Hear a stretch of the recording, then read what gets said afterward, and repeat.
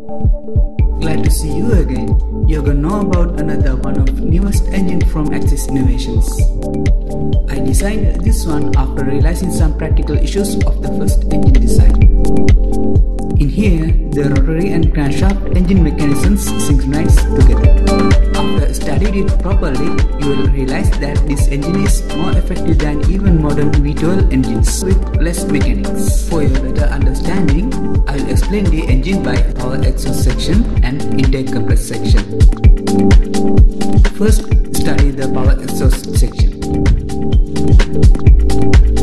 Yellow colored rotary vane is directly connected with engine output shaft and the auxiliary vane is also connected to the output shaft through a particular rotating crankshaft mechanism. This is the working process. Compressed gas intake process in the other section. I want to tell you a very important thing now. If you have watched carefully, you'll see that it has a second method of engine function. Check it now. When using this method, then this will be the entire engine unit.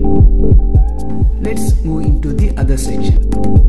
The power output shaft extends into this section also.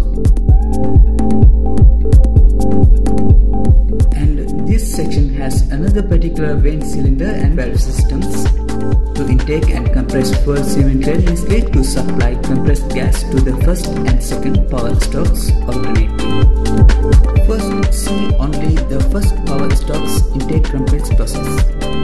When achieved, compressed state of gas in the upper cylinder chamber opens a valve by a rotating disc unit, shows here. After let flowing the compressed gas into the combustion chamber, the valve closes and starts to intake gas for the next cycle.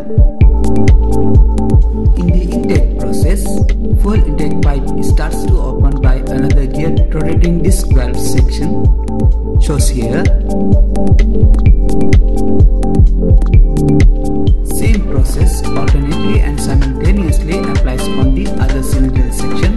Second power stroke.